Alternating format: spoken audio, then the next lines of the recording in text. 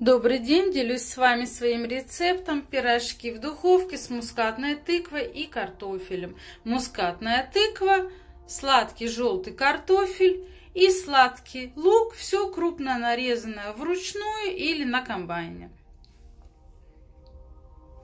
Овощи наши смешиваем.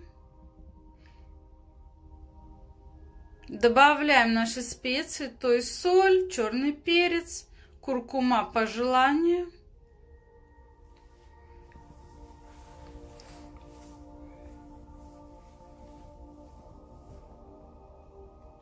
Добавляем одну столовую ложку муки по пол столовой ложки за раз, чтобы хорошо все перемешать.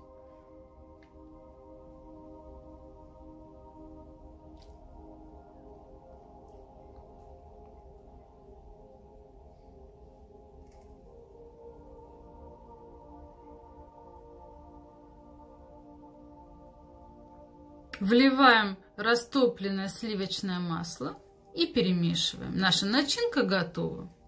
Наше тесто нарезаем на кусочки по 40 грамм каждый и каждый кусочек скатываем в шарик. Данный шарик мы будем раскатывать в лепешечку 3, 4, 5 миллиметров толщиной, чтобы она не была очень тонкая, учитывая, что у нас достаточно сырая и влажная начинка. Кончики защемляем, посередине обязательно оставляем серединку, центр открытый, чтобы вся влага могла выходить. Вот наш пирожок готов. Пирожки все сложены на форму, смазанную растительным маслом.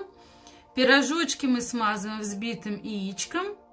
И после мы это посыпем все семенами кунжута, но это по желанию.